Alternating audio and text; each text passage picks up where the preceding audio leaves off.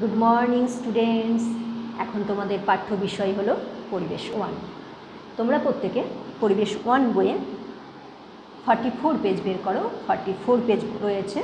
দেখো হাওড়া জেলা। আমি তোমাদের কাছে হাওড়া জেলা নিয়ে আলোচনা করব। তোমরা সকলে মনোযোগ দিয়ে শুনবে। প্রথমে আমরা জেনে নিই হাওড়া জেলা কোথায় অবস্থিত। হাওড়া জেলা হুগলি নদীর পশ্চিম পাড়ে অবস্থিত। হাওড়া জেলা কোথায় অবস্থিত? হাওড়া জেলা হুগলি নদীর পশ্চিম পাড়ে অবস্থিত। হাওড়া জেলার আয়তন কত? হাওড়া জেলার আয়তন হচ্ছে এক হাজার চারশো সাতষট্টি বর্গ কিলোমিটার। হাওড়া জেলার আয়তন এক হাজার চারশো সাতষট্টি বর্গ কিলোমিটার। এবার আমরা জেনে নেব হাওড়া জেলার আশেপাশে কোন জেলা রয়েছে।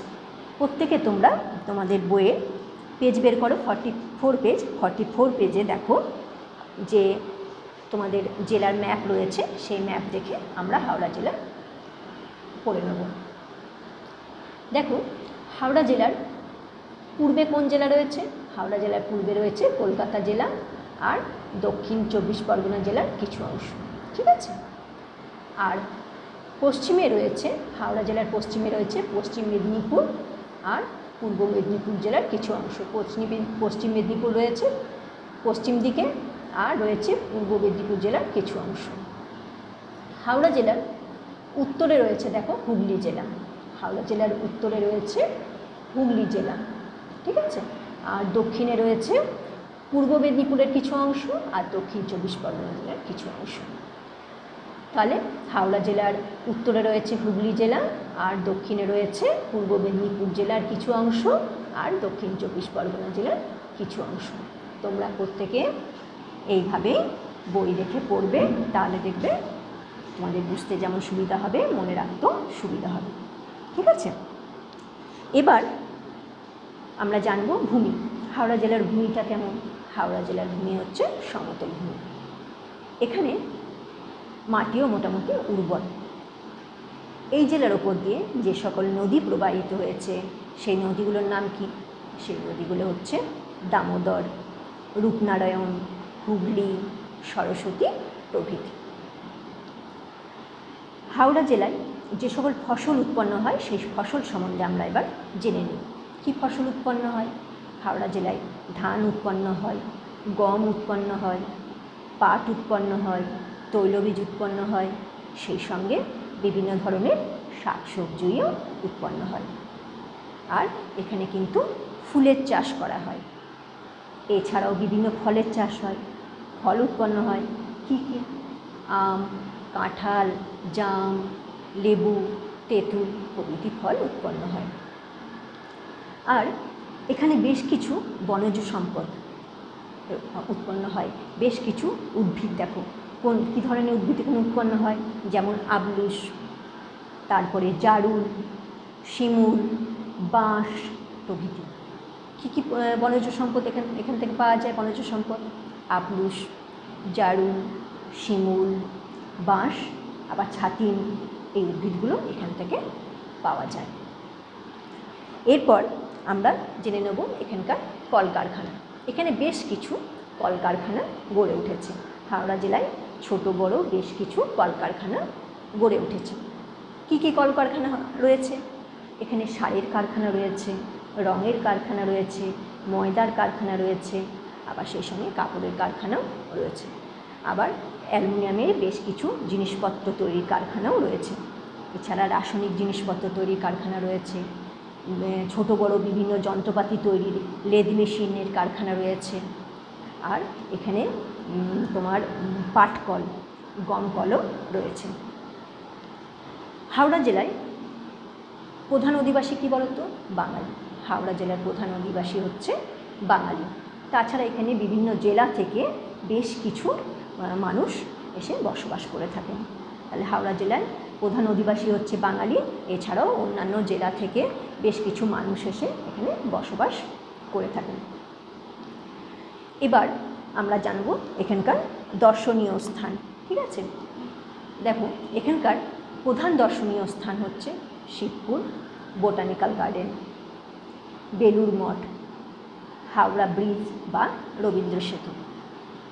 এছাড়াও এখানে রয়েছে শিবপুর ইঞ্জিনিয়ারিং কলেজ, যার বর্তমান নাম হচ্ছে Indian institute of engineering science and technology.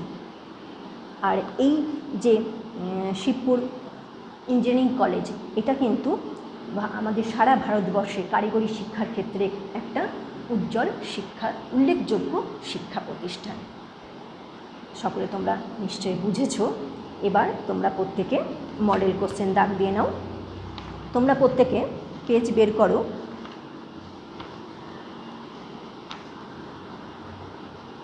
Fifty four page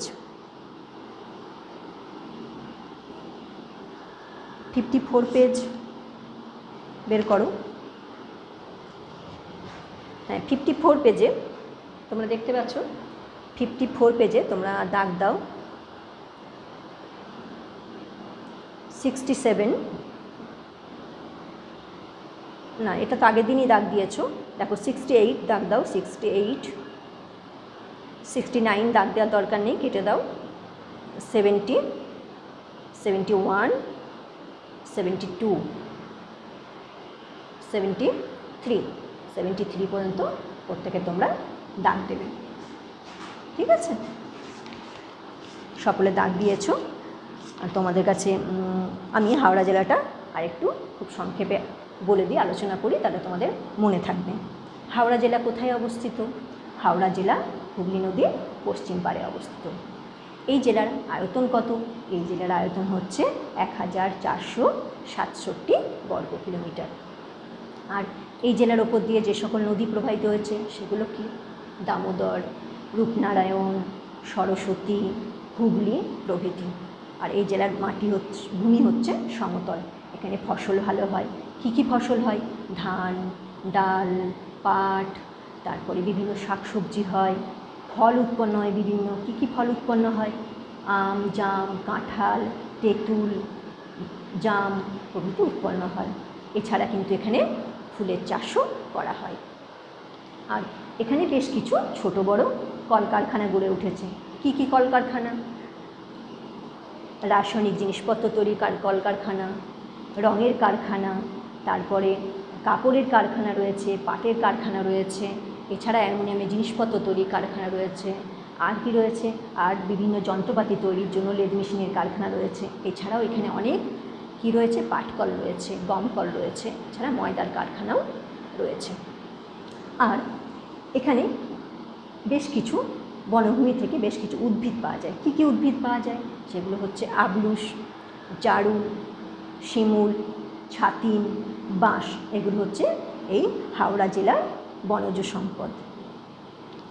আর হাওড়া জেলার সদর শহর, কী বলতো? হাওড়া জেলার সদর শহর হচ্ছে হাওড়া। এবার আর এখানকার অধিবাসী এখানকার অধিবাসী হচ্ছে বাঙালি। এছাড়াও এখানে বিভিন্ন জেলা থেকে বেশ কিছু মানুষজন এসে হাওড়া জেলায় বসবাস করেন। হাওড়া জেলার দর্শনীয় স্থান শিবপুর বোটানিক্যাল গার্ডেন। আর বেলুর মঠ, হাওড়া ব্রিজ বা রবীন্দ্র সেতু। আর এখানে হাওড়া রেল স্টেশন হচ্ছে ভারতের ব্যস্ততম রেল স্টেশন। আর হাওড়া জেলায় কি রয়েছে? হাওড়া জেলায় রয়েছে বিখ্যাত শিবপুর ইঞ্জিনিয়ারিং কলেজ, যার বর্তমান নাম কি বলতো? বর্তমান নাম হচ্ছে Indian institute of engineering science and technology. এটা কিন্তু সারা ভারতের মধ্যে একটি উল্লেখযোগ্য কারিগরি শিক্ষা প্রতিষ্ঠান। তোমরা সকলে হাওড়া জেলা, খুব ভালো করে মন দিয়ে পড়বে মডেল কোশ্চেন যেগুলো দাগিয়ে দিলাম, সকলে মন দিয়ে পড়বে, সকলে পড়বে এবং এটা লিখবে, লিখলে তোমাদের মনে থাকবে। আর আমি যে কোশ্চেন অ্যান্সারগুলো দিচ্ছি, সেগুলো কিন্তু প্রত্যেকে প্র্যাকটিস করবে, খাতায় লিখে রেখে দেবে, হারাবে না। কেমন? মাঝে মধ্যেই পড়বে রিভিশন দেবে। সকলে তাহলে খুব ভালো থাকবে। টাটা।